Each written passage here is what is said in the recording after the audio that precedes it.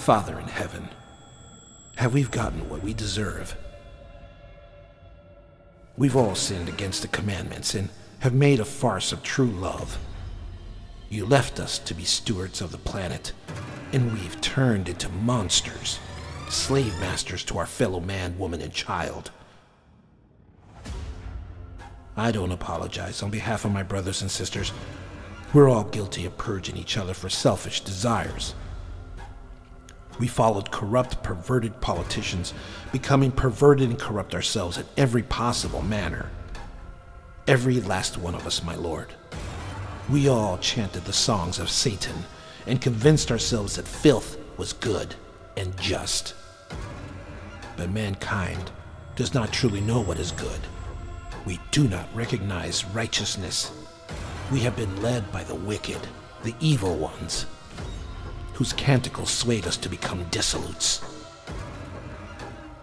And we have long passed the fringe, beyond the edge. Nec Deus intersit, nisi dignus vindice, nodus incurderit.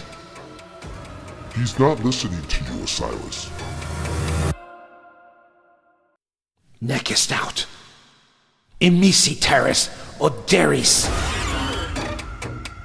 I am only here to claim my prize. Surely you must know this. I have no need to hate mankind, nor do I have a serious need to intimidate anyone. My fight is with the Creator. You brought this perversion to mankind. Why are you still fighting this, Asilas? The deal has been made. Your fate is sealed. The contract is signed with your blood. We don't need to debate this anymore. Mankind is getting what it deserves because of their reluctance to denounce sin.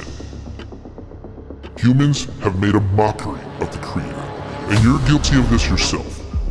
Men and women insist on inflicting atrocities onto their brothers, sisters, children, and anyone else for their wicked cravings.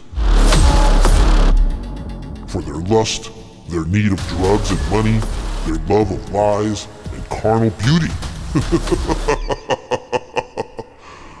they marched behind the perverted pipers who offered them enslavement, gift wrapped in deplorable politics. And for this, the time cannot be any better to hold their feet to the fire. Let me show you something. Come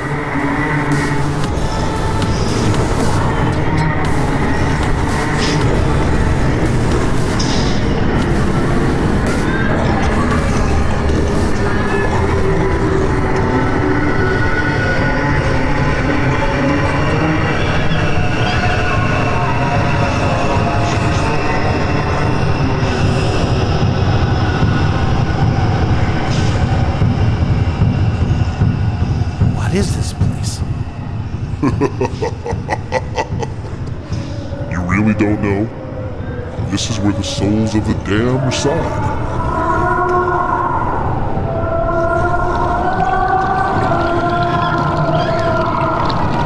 The Lake of Fire, I presume?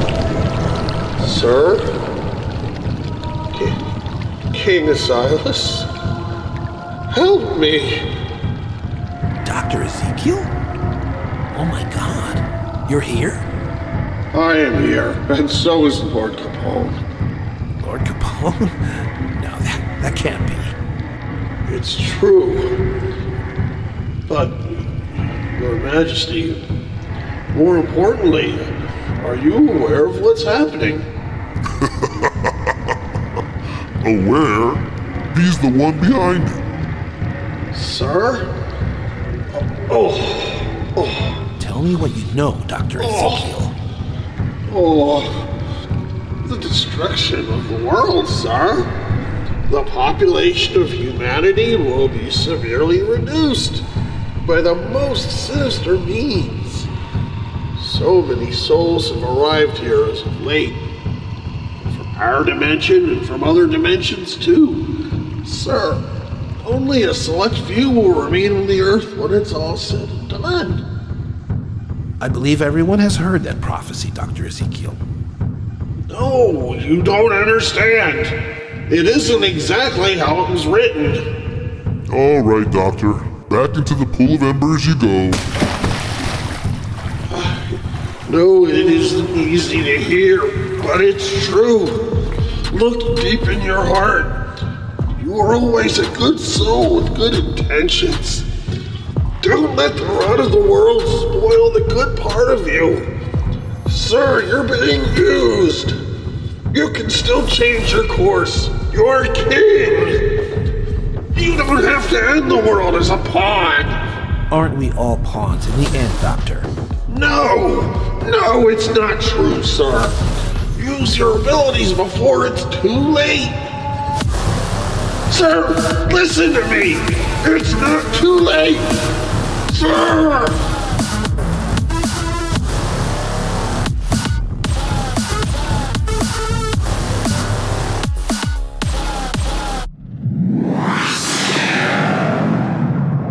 New Kingdom Radio Theater. Hey, this is Kate from Ignorance Was Bliss. I have to tell you about getting merch for The Rise of King Asilas. The only place to get merch from the most epic podcast in the world is teepublic.com. Get King Asilas t shirts, coffee mugs, stickers, hoodies, and much more. Go to teepublic.com slash user slash King Asilas and browse their great designs. You'll not only get awesome merch, but you'll also be supporting the show. That's teepublic.com slash user slash King Asilas or click the link in the show notes. Go online today and place your order. And then beware, because if your family is anything like mine, one of your kids will steal it immediately.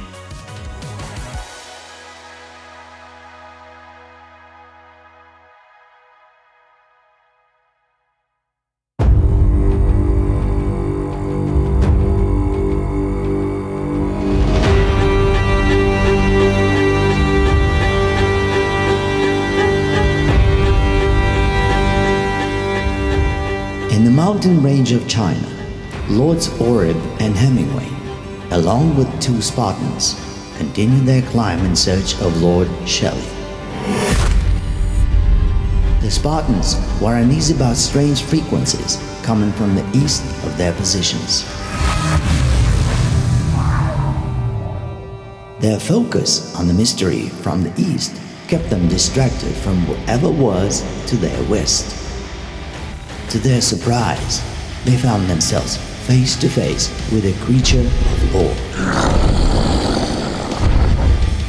A fabled Yeti approached them as they reached the high cliff. It stood very tall, with a thick white coat and hair. Lord Hemingway was the first to spot the creature. His shock left him breathless and nearly paralyzed. Suddenly, the group found themselves in a major fight with a menacing beast.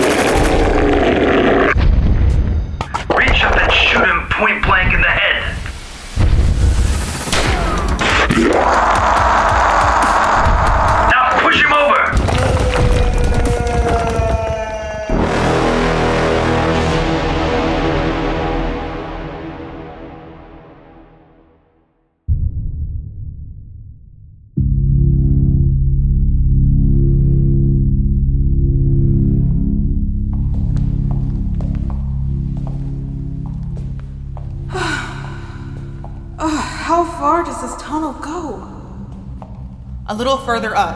That's what the schematic says. Looks like a dead end up ahead. A dead end? That can't be. The schematic says the tunnel should keep going.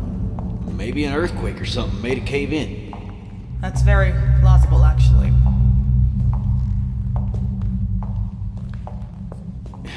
Well, I guess I should start digging through all this. Ain't no point in trying to figure out what happened. Babe, maybe we should think about this before you start shoveling dirt back this way. I mean, digging through all that just may accomplish pushing debris back towards us. Well, we gotta do something. We can't stay here, and we can't go back. You're right, I'll just. Quiet, please.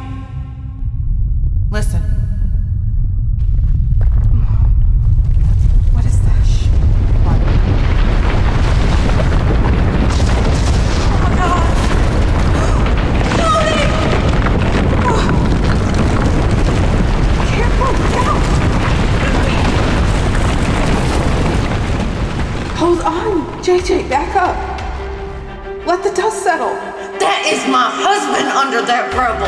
I ain't settling nothing. Cody! Cody, babe! I'm here. I'm here. Babe! Oh my god, babe. Are you alright? I, I don't know. What? Cody! Cody, wake up! Open your eyes, babe. Cody!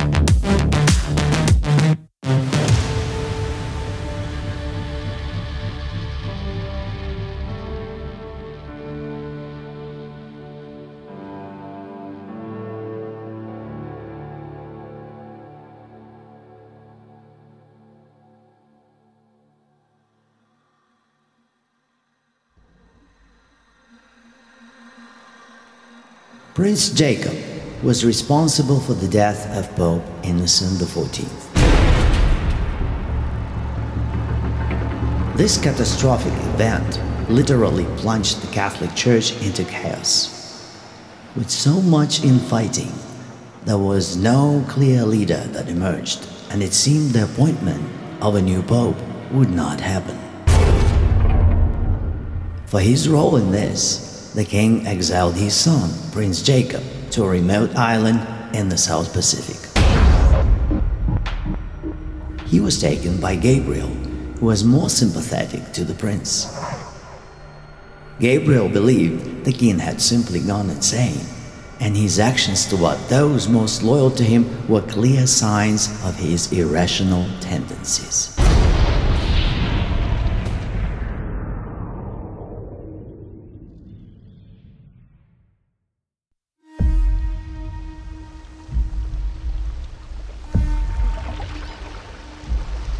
Is this place? Very nice, remote island in the South Pacific. At least it's tropical. Are there people on the island? I don't think so. If there are, I advise you to stay clear of them. I don't understand. Why would my father send me here? I think this move is more than just punishment. He probably sees you as a threat now. A threat? That's crazy. A threat in what sense? Like, I'm his heir, and all I have done is help him with his mission to save humanity. If he's abandoned me here, then there's probably little hope he cares what happens to my son. As far as I know, the Dracs still have your son. And it doesn't look like there's going to be any bartering for him anytime soon. They double crossed your father. you should have never trusted them. No! I can't believe my father is that callous. My son has to mean something to him.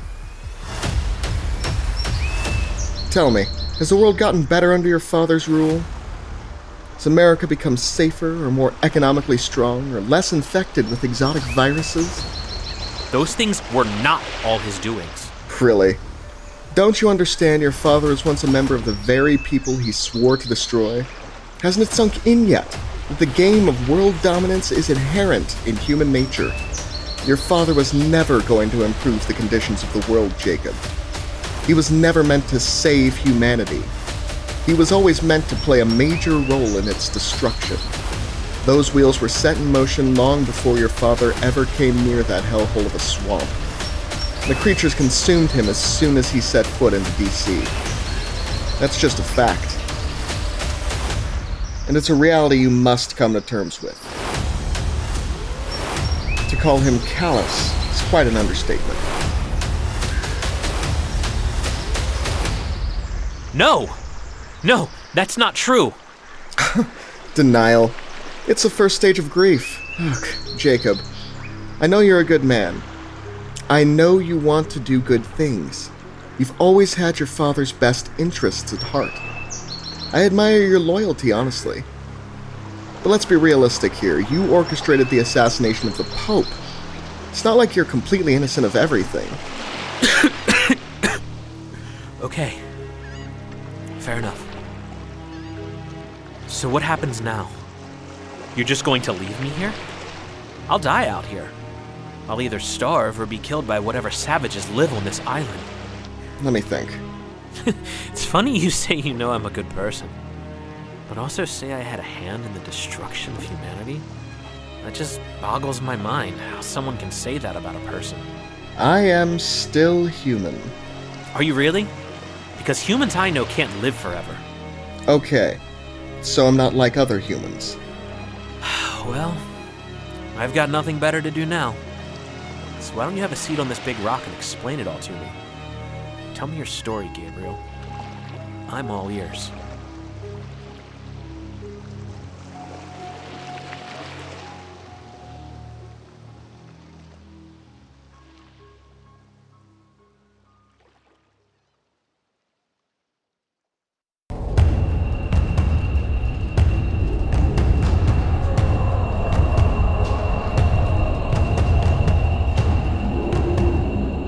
So on this side, most fascinating men and women. While they were alive, they caused many deaths, inflicted horrific pain on others, and were just evil in each breath they inhaled. This is like my tank of personal favorites. Not surprised to see Hitler, Stalin, and Napoleon here. Wait, is that Hillary? She was quite the beastly woman in her heyday. and she got away with it all. Except down here, she gets to swim with the lava sharks. Let's see. Hmm. I don't see the Big Dipper or the Duke. Strange. I'm shocked about that as well. But there's JFK, Prince Andrew, Epstein, Gates, Jobs. Jobs too? How? Why? You really want to know? What about Lord Capone? Dr. Ezekiel said he was down here. But Quentin was in the Grand Castle with me. I assure you he has his own locker down here. So, you won't tell me if my best friend in the world is here. Curious. Okay, what about Lord Jackson? Lord Jackson? No, he's definitely not here. Is he with the others? No, he's not down here at all. What? You mean the Creator let him into heaven? No, dimwit. Lord Jackson is not dead yet. He's still on the surface. Lord Jackson is still alive? That's incredible. You'd be surprised who's still alive up there. They just hide with the worms and fungus underground. I can't believe there are so many politicians in this horrid tank of yours. Oh, don't act so surprised, Silas. You know damn well you had to be pretty evil to get up in politics. To be president, they all had to sell their soul to me. Well, one of them didn't, but everyone made sure they made his life a living hell. then you came along and put them all to shame. I think I've had enough of this place. I'm going back to the surface if you don't mind. Don't you want to talk to any of your predecessors? I would think you'd be at least a little curious about where they went wrong so you don't make the same mistakes. I don't see the point. No one has ever been in my position. Not like this. Don't be so sure, you arrogant fool. This is not the first time the world has plunged into darkness. And rest assured, it will not be the last time either.